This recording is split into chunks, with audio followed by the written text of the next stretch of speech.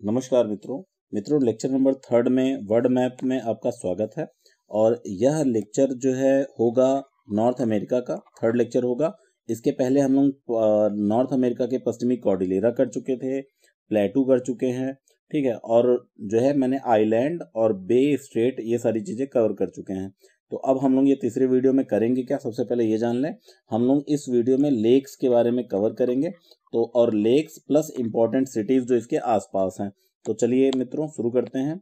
Tricks का नाम है, यहाँ पे आपको कनाडा में, कनाडा के सभी जो लेक हैं, क्रम से याद हो जाएँगे, उत्तर से दक्षिण।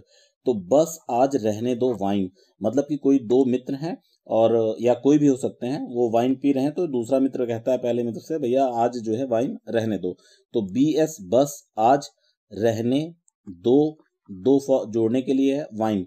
तो बी से हो गया मित्रों ग्रेट बियर लेक एस से हो गया ग्रेट स्लेव लेक ए से हो गया अथाबास्का लेक आर से हो गया रेंडियर लेक उसके बाद डब्लू से हो गया विनपेग विनपेग लेक विनपेग एक जगह भी है मित्रों, ये है विनपेग ठीक है, आप देख सकते हैं यहाँ पे। ठीक, आगे आते हैं मित्रों। अब हम इन्हीं को जो है आपको मैप में दिखा देते हैं कहाँ पे कौन सी चीज़ें हैं। ये मेरा मैप यूज़ किया गया है तो इस मैप में हम लोग यहाँ पे देखेंगे। तो सबसे पहले आते हैं मित्रों, यहाँ पे हमने आपको बोला था ग्रेट बियर लेक। तो ये देखिए मित्रों, ये है ग्रेट बियर लेक। यहाँ पे दिख रहा रहा होगा आपको, बैंक आइलैंड ये सब पिछले वीडियो में हो चुका था। तो ग्रेट बियर लेक है, ये यहाँ देखिए। उसके बाद मित्रों, ग्रेट बियर लेक के बाद बस, एस से हो गया स्लेव लेक और ये है ग्रेट स्लेव लेक। और ग्रेट स्लेव लेक के पास एक सिटी है जिसका नाम है येलो नाइफ। दिख रहा होगा। अच्छा ग्रेट बियर लेक में क्या आपको देखने लायक है? वो देखिए मित्रों, ग्रेट बियर लेक में जो आपको देखने लायक है वो यह है कि यहाँ देखिए ये डैश डैश एक लाइन ये बनी हुई है। ये जो डैश लाइन है, यह आर्कटिक सर्किल है मतलब 66 एंड हाफ़ नॉर्थ की जो अक्षांश रेखा है, वह है, ठीक है? और ये किसके ऊपर से होके जा रही है? यह भी प्रश्न बन सकता है मित्रों। यह होके जा रही है ग्रेट बियर लेक से, बस, आज रहने दो वाइन तो बस हो गया, सा हो गया स्लेव यहाँ पे येलो नाइफ है. उसके बाद मित्रों, उसके बाद जरा सा फिर से जूम करेंगे.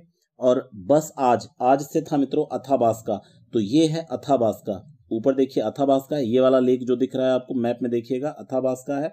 और उसके बाद नीचे जो ये छोटा सा लेक है, इसको बोलते हैं लेक रेंडियर ठीक है बट बस आज, देखिए बस भी हो गया आज भी हो गया, रहने भी हो गया। बस आज रहने दो वाइन वाइन मतलब डब्लू तो यहाँ देखिए मित्रों, एकदम नीचे यहाँ पे देखिए विनपेग ये है आपका लेक विनपेग लेक विनपेग और ये यहाँ पे विनपेग लेक भी है मित्रों, और ये मैंटोबा जो प्रांत है मित्रों मैंटोबा जो प्रांत है, इसकी राजधानी भी विनपेग है यहाँ पे।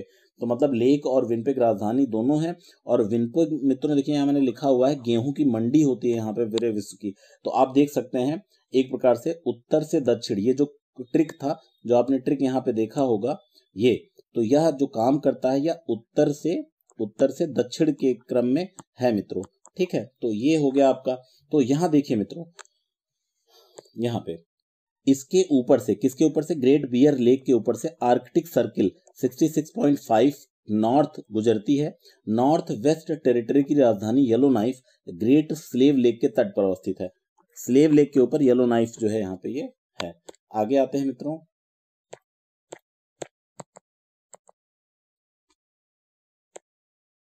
ठीक। और यहाँ देखिए, फिर मैनिटोबा प्रांत की राजधानी विनपेग, विश्व की गेहूँ की सबसे बड़ी मंडी है जो विनपेग लेक के तट पर अवस्थित है। ये सारी बातें हम लोग यहाँ पे कर चुके हैं।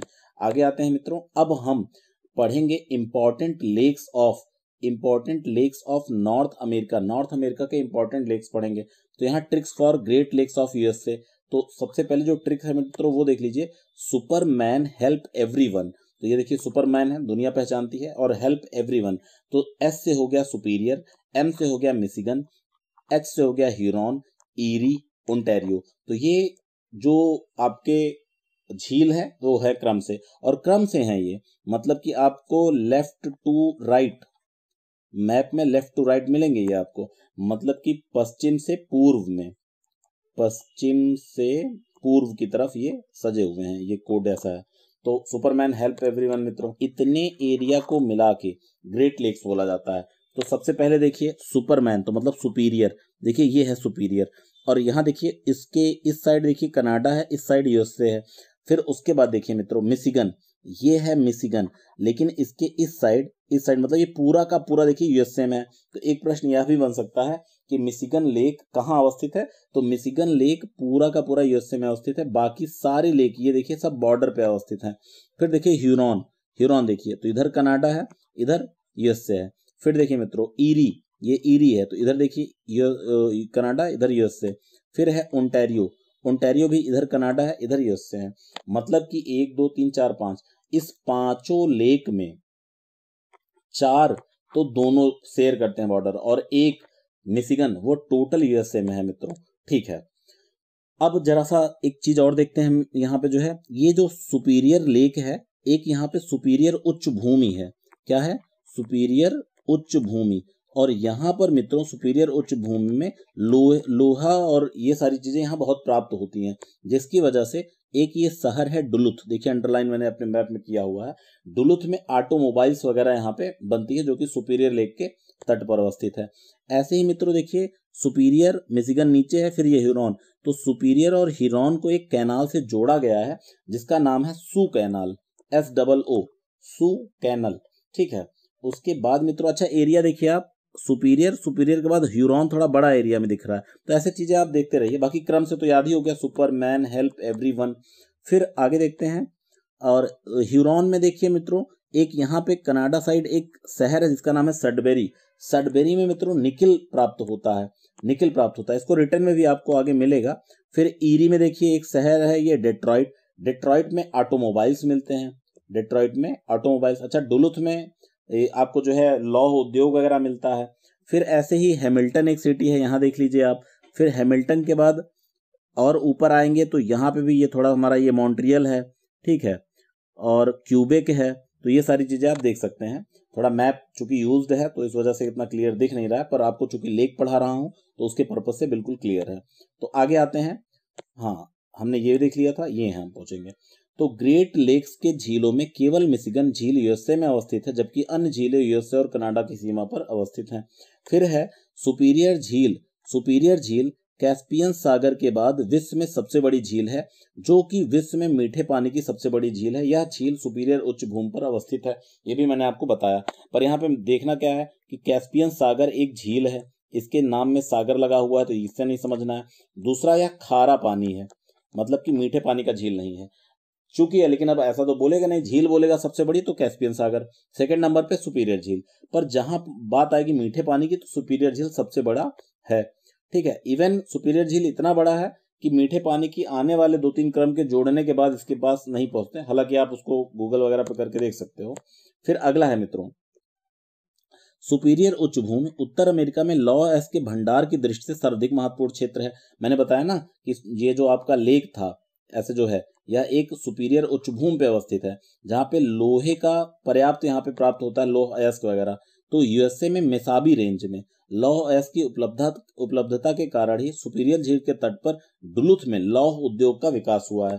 तो ध्यान देना है, डुलुथ में लौह उद्योग का विकास हुआ है। मुझे लगता है, मैं बाइक तो नहीं बोल दिया था ऑटोमोबाइल्स ऑटोमोबाइल्स जो है डेट्रॉइट में है तो डुलुथ में लौह उद्योग का विकास हुआ है। क्यों? क्योंकि सुपीरियर उच्च भूमि से लौह जो है प्राप्त होता है। फिर सू कैनाल मैंने बताया था सुपीरियर और ह्यूरॉन को, नीचे आपका मिशिगन है, को जोड़ने के लिए सू कैनाल होता है। इस नहर के समीप, कनाडा में सॉल्ट सेंट मैरी बंदरगाह अवस्थित है। तो इसको चलिए मैप में देख लेते हैं हम लोग। ये रहा हमारा सॉल्ट सेंट मैरी ठीक है?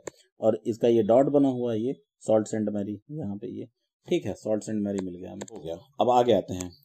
ह्यूरॉन झील के उत्तर में कनाडा का सेडबेरी है। कनाडा मैंने आपको दिखाया था, जहाँ पे निकिल के उत्पादन का सर्वाधिक महत्वपूर्ण केंद्र है और निकिल के साथ साथ मित्रों, कॉपर और पेट्रम भी यहाँ पे मिलता है।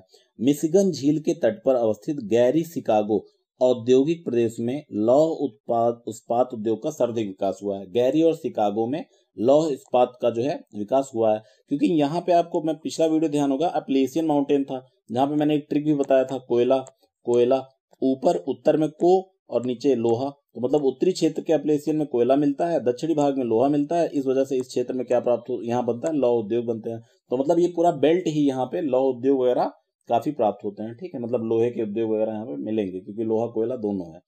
लोहा कोयला हाँ। गैरी शिकागो औद्योगिक प्रदेश में लौह इस्पात उद्योग का सर्वाधिक विकास हुआ है। सुपीरियर उच्च भूमि में लॉ एस की उपलब्धता और पेंसिल्वेनिया से कोयला की उपलब्धता। सुपीरियर उच्च भूमि मैंने आपको बताया, फिर पेंसिल्वेनिया से कोयला, ये आपका उस क्षेत्र में आ जाएगा अपलिशन माउंटेन वाले से ही ग्रेट लेक्स के इस क्षेत्र में लौ इस्पात उद्योग का सर्वाधिक विकास हुआ। कोई दिक्कत नहीं मित्रों, बड़े आसानी से कर लेंगे। एक तो आप अपलेसियन वाला बता दीजिएगा, ऊपर कोयला, नीचे लोहा। दूसरा, सुपीरियर उच्च भूमि में सुपीरियर लेक है और यहाँ पे उच्च भूमि में मिसाबी रेंज वगैरह में लोहा प्राप्त होता है तो इस वजह से ये है। और गैरी शिकागो को अगर मैप में देखना चाहते हैं तो देख सकते हैं। देखिए ठीक है। अब ये है हमारा, ये है हमारा मिशिगन और यहाँ पे मित्रों मिशिगन में देखिए एक ये सिटी है गैरी। ये ये है गैरी, दिखा? और ये है शिकागो और गैरी शिकागो बिल्कुल पास पास में ही है। ऐसे मैं आपको दिखा दूँ, एक शिकागो है और ये मिलवाक मिलवाकी है। तो यहाँ तक किसान खेती वगैरह बहुत होती है, गैरी और शिकागो और किसान के उपकरण मिलते हैं। इस वजह से इसे एग्रीकल्चरल बेल्ट भी बोलते हैं। कहाँ से कहाँ तक? शिकागो से मिलवाकी तक। और गैरी शिकागो और शिकागो क्यों फ़ेमस है? और जान लो शिकागो में चारों तरफ़ से ऐसे ट्रेन के जो जंक्शन है एक प्रकार से मतलब इधर से आता है। अच्छा एक चीज़ बताइए जंक्शन और स्टेशन में क्या अंतर है भैया? जंक्शन और स्टेशन जंक्शन वो होता है जहाँ से ऐसे किसी प्लेटफॉर्म पे आए ट्रेन यहाँ से। जब कहीं सिर्फ़ एक दो, दो ही जगह सिटी को जोड़ता हो तब जंक्शन है। लेकिन कहीं ऐसे भी जा सकता है ऐसे भी जा सकता है तो उसे सॉरी जब ये स्थिति हो तो उसे जंक्शन बोलते हैं और जब सिर्फ़ दो, एक रूट फिक्स होता है तो उसे क्या बोलते हैं? उसे बोलते हैं स्टेशन। ठीक है? तो ऐसे ही यहाँ शिकागो में चारों तरफ़ से आने वाली सड़कें मिलती हैं और इसी वजह से यहाँ पे मांस प्रसंस्करण उद्योग भी फलता फूलता है। अब मैं आपको जब मिलवाओकी दिखाना होगा तो आप समझ जाइएगा गहरी शिकागो शिकागो के थोड़ा ऊपर। चलिए। हाँ यहाँ हो गया था मित्रों, सुपीरियर तो लौह उद्योग का सर्वाधिक विकास हुआ है। फिर आगे देखिए। शिकागो, यूएसए में तीसरा जनसंख्या वाला शहर है। यहाँ यूएसए की सभी दिशाओं से आने वाली रेल मार्ग और सड़क मार्ग को मिलने के कारण ही यूएसए का परिवहन फोकस केंद्र भी है, जहाँ यूएसए का सबसे बड़ा रेलवे जंक्शन है। यहाँ पे रेलवे जंक्शन सबसे बड़ा है। यहाँ परिवहन परिवहन सुविधा के कारण ही मांस प्रसंस्करण उद्योग का विकास हुआ है। तो मांस प्रसंस्करण उद्योग का विकास होने के कारण भाई यहाँ भी कुछ कट रहा है किसी का, जो तो यहाँ पहुँचा दिया, यहाँ भी पहुँचा दिया, यहाँ भी पहुँचा दिया, यहाँ पहुँचा दिया। ठीक है, आगे बढ़ते हैं। मिसगन झील के तट पर शिकागो से मिलवाओ की। मैंने आपसे कहा था ना कि यहाँ पे गैरी है, यहाँ शिकागो है, यहाँ ये है और ये तुम्हारा वो है, लेक है। तो यहाँ से यहाँ तक, ध्यान से देखिएगा कृषि के उपकरण और मशीन के विकास होने के कारण से यूएसए का एग्रीकल्चरल इम्प्लीमेंट बेल्ट कहते हैं। तो अगर कोई पूछेगा यूएसए का एग्रीकल्चरल इम्प्लीमेंट बेल्ट कहाँ है तो ये यहाँ पे हो गया। इसी का जोड़ के आप इंडिया में कोई विकास के बारे में बोल सकते हैं कि हमारा जहाँ पे जैसे हरियाणा क्षेत्र में हम ऐसा कुछ कर सकते हैं। फिर आइए।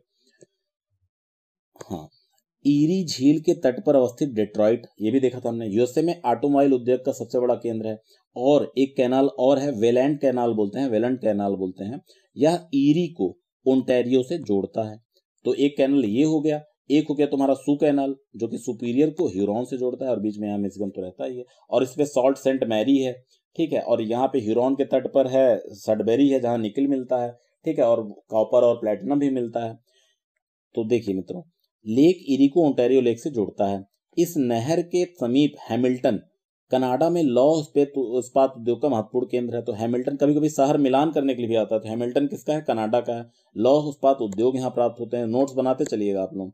उसके बाद टोरंटो और ओंटेरियो प्रांत की राजधानी है, जो कनाडा में सर्वाधिक जनसंख्या वाला शहर है।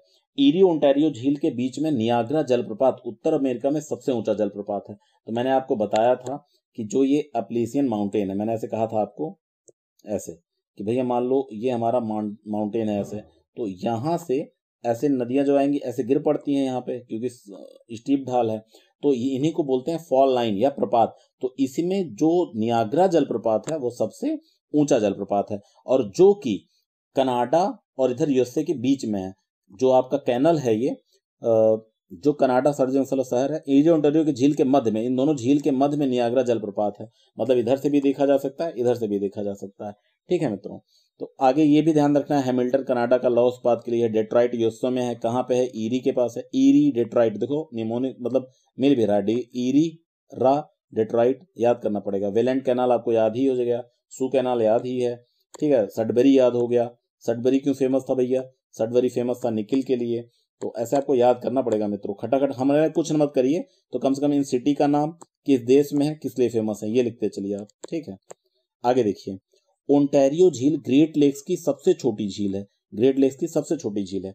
ठीक भैया तो कौन कौन से थे? Super man help every one Superior, Michigan Huron Erie Ontario. तो ओंटेरियो बात सबसे छोट, सबसे लास्ट में। एकदम इधर चल मतलब सॉरी, एकदम इधर से इधर चल भी रहा है। ठीक है। इस झील से सेंट लॉरेंस नदी निकलती है। यहाँ से एक नदी निकलती है, सेंट लॉरेंस, जो कि मैं पहले वीडियो में बताया था कि वो जाके सेंट लॉरेंस की खाड़ी में गिरती है। ठीक है इस न, इस नदी के स्रोत के समीप किंगस्टन बंदरगाह स्थित है जो कनाडा में रेल इंजन का एक महत्वपूर्ण केंद्र है। ठीक है किंगस्टन रेल इंजन और चलिए मैं आपको एक बार मैप पास ले चलता हूँ। ये। तो देखिए यहाँ पे यहाँ पे मैंने बनाया ही भी हुआ है कि यहाँ देखो ओंटेरियो से ये सेंट लॉरेंस सेंट लॉरेंस में रिवर जा रही है और इसी के पास इसी के पास किंगस्टन है। और किंगस्टन देखिए, यहाँ मैंने लिखा भी हुआ है अपने कॉपी में। तो किंगस्टन किस लिए फ़ेमस है? किंगस्टन फ़ेमस है रेल इंजन के लिए, ठीक है? और ये हो गया यहाँ पे। आगे आते हैं अब। अब मित्रों, हम लोग दूसरी जगह पहुँचेंगे, जिसको बोलते हैं ग्रेट सॉल्ट लेक उटाह राज्य है एक यूएसए में, जहाँ पे ग्रेट सॉल्ट लेक है, जो कि पहले मीठे पानी की झील हुआ करती थी, जिसे बोने विले बोलते हैं बोने विले ठीक है? इस झील के तट पर उटाह राज्य की राजधानी सॉल्ट लेक सिटी अवस्थित है। तो उटाह की राजधानी क्या है? सॉल्ट लेक सिटी जो कि कुल मिलाकर यहाँ पे इतना जान लीजिए कि ग्रेट सॉल्ट लेक कभी जो है बोनविले था, जिसका जो कि मीठे पानी का झील हुआ करता था। लेक मीड एक दूसरा लेक है लेक मीड कोलरेडो नदी नदी पर निर्मित हुवर बाउल्डर बाँध।